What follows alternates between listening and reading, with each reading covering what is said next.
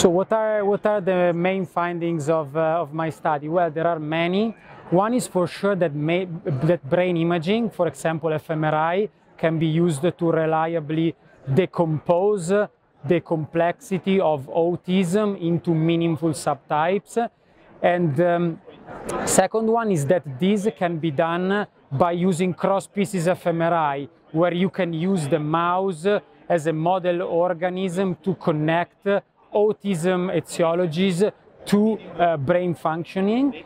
And the third one is that our approach is able to identify novel and undiscovered subtypes of autism, one characterized by dominant hyper, functional hyperconnectivity, and the other one characterized by dominant hypoconnectivity. These results, are, to conclude, these results are also important for clinical purposes, as each of the two subtypes is characterized by a specific uh, uh, behavioral um, um, uh, profile.